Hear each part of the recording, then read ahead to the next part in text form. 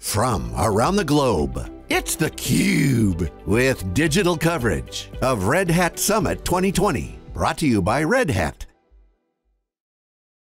Welcome back to theCUBE's coverage of Red Hat Summit 2020. Of course, this year, it's rather than all coming to San Francisco, we are talking to Red Hat executives, their partners, and their customers where they are around the globe.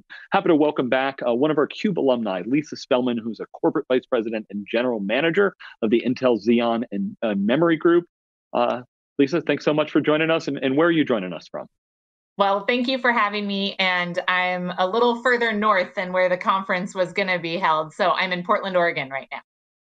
Excellent. Yeah, uh, we've had uh, you know customers from around the globe uh, as, as part of the cube coverage here and of course uh, you're, you're near the mothership of, of intel. So uh, lisa uh, you know let, us start of course you know the red hat partnership. Uh, you know I, have seen the intel executives on the keynote stage for, for many years. So talk about to start us off the, the intel red hat partnership as it stands today in 2020 yeah, you know, on the keynote stage for many years and then actually again this year. Um, so, despite the virtual nature of the event that we're having, we're trying to still show up together and demonstrate together to our customers and our developer community.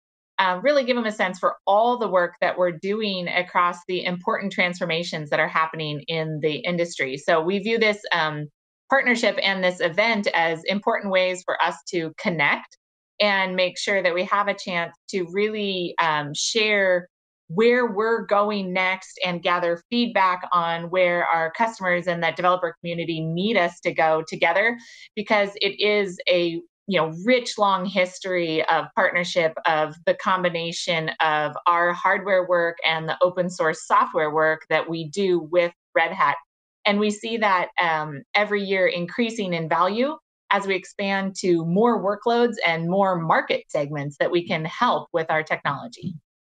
Yeah, well, uh, Lisa, you know, we've seen on the Cube uh, for for many years Intel strong partnerships across the industry, uh, from the data centers, from the cloud. Uh, I think we're going to talk a little bit about Edge for this discussion too. So Edge and 5G.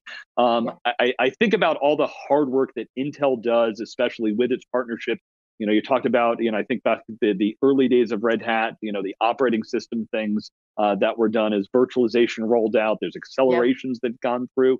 Uh, so when it comes to edge and 5g obviously big mega waves that we spend a lot of talking about. What's what's intel's piece? Obviously we know intel chips go everywhere but when, when it comes to kind of the engineering uh, work that gets done what, what are some of the pieces that intel's working on yeah, that's a great example actually of what I um, what we are seeing is this expansion of areas of um, workloads and investment and opportunity that we face. So as we move forward into 5G becoming um, not the theoretical next thing, but actually the thing that is starting to be deployed and uh, transformed, you can see a bunch of underlying work that Intel and Red Hat have done together in order to make that a reality. So you look at the move from a very um, proprietary ASIC based type of workload with a single function running on it. And what we've done is drive to have the virtualization capabilities that took over and provided so much value in the cloud data center also apply to the 5G network. So the move to network function virtualization and software defined networking and a lot of value being derived from the opportunity to run that on open source standards and have that open source community really come together to make it easier and faster to deploy those technologies and also to get good um, SLAs and quality of service while you're driving down your overall total cost of ownership. So we've spent years working on that together in the 5G space and network space in general. And now it's really starting to take off. And then that is very well connected to the edge. So if you think about the edge as this point of content creation, of where the action's happening, and you start to think through how much of the compute or the value can I get out at the edge without everything having to go all the way back to the data center you start to again see um, how those open standards in very complex environments can help people manage their total cost of ownership and the complexity.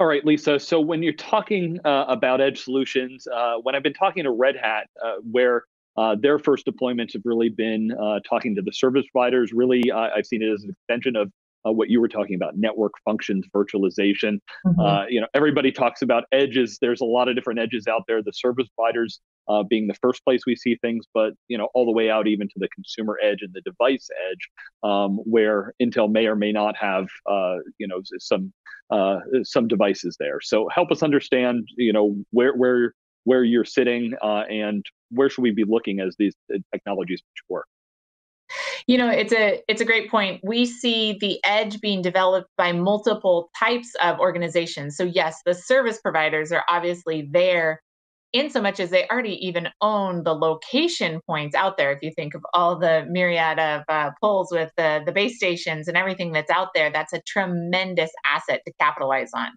You also see our cloud service provider customers uh, moving towards the edge as well as they think of new developer services and capabilities. And of course, you see the enterprise edge coming in.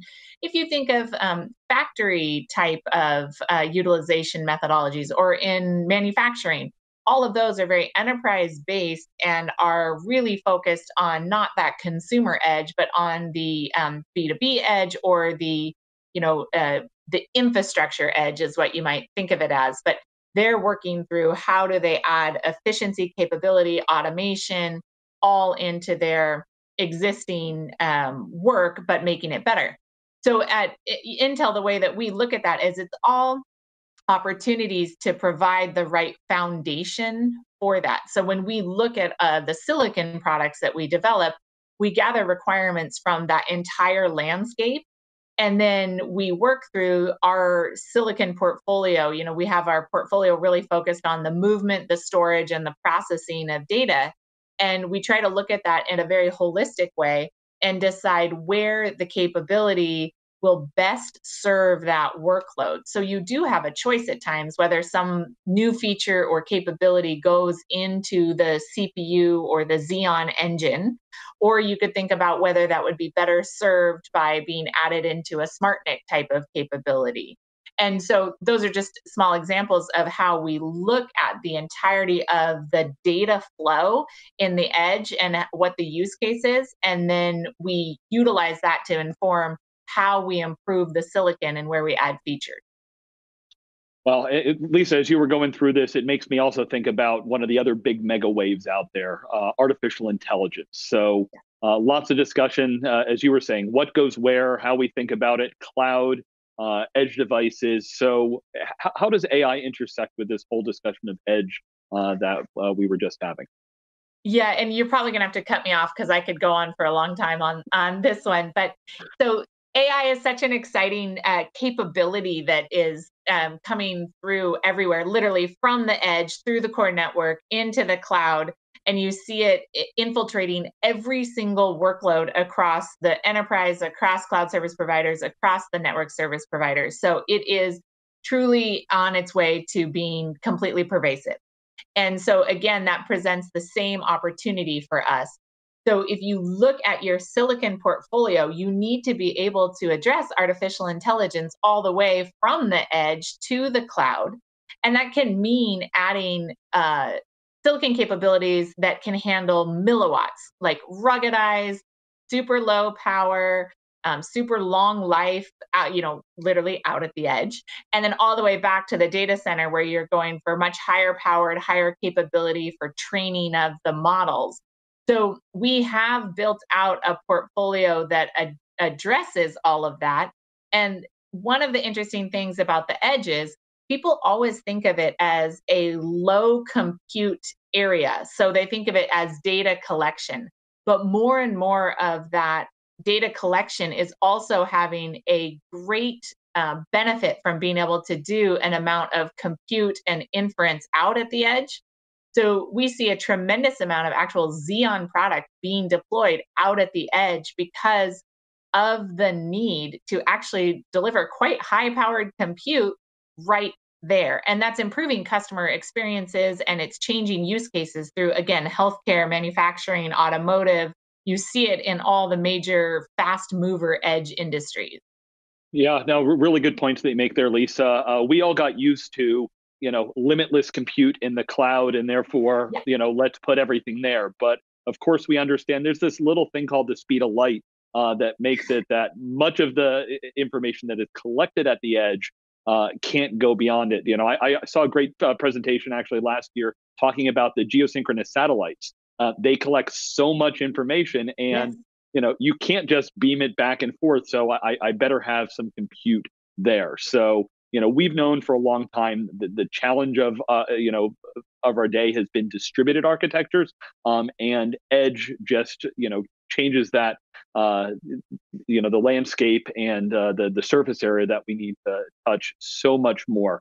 Um, when, when i think about all those areas obviously security uh, is, is, an area that comes up. So how does intel uh, and, and, its partners make sure that no matter where my data is, and you talk about the, the various memory, that you know security is still considered uh, at, at each aspect of the environment. Oh, it, it's a huge focus because if you think of people and phrases they used to say, like, "Oh, we got to have the fat pipe or the dumb pipe to get you know data back and forth," there is no such thing as a dumb pipe anymore. Everything is smart the entire way through the life cycle. And so, with that smartness, you need to have security embedded from the get go into that workflow.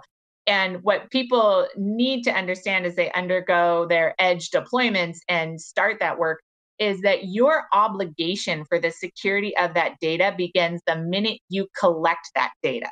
It doesn't start when it's back to the cloud or back in the data center. So you own it and need to be on it from the beginning. So we work across our silicon portfolio and then our software ecosystem to think through it in terms of that entire pipeline of the data movement and making sure that there's not breakdowns in each of the handoff chains. It's a really complex problem, and it is not one that Intel is able to solve alone, nor any individual silicon or software vendor along the way.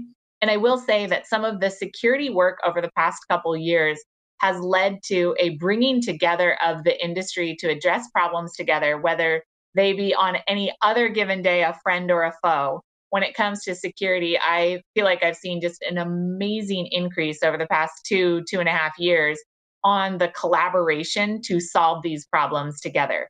And ultimately, I think that leads to a better experience for our users and for our customers. So we are investing in it not just at the new features from the silicon perspective, but in also understanding um, newer and more advanced uh, threat or attack surfaces that can happen inside of the silicon or the software component. All right. So, uh, Lisa, final question I have for you. I want to circle back to where we started. Uh, it's Red Hat Summit this week, long partnerships. Uh, as, as, I mentioned, we see Intel at all the cloud shows. You partner with all the hardware, software uh, providers, and the like. So, big message from Red Hat is the open hybrid cloud. Talk about how that fits in with everything that Intel is doing. It's an area of uh, really strong interconnection between us and Red Hat because we have a vision of that open hybrid cloud that is very well aligned. And the part about it is that it is rooted not just in here's my feature, here's my feature from either one of us.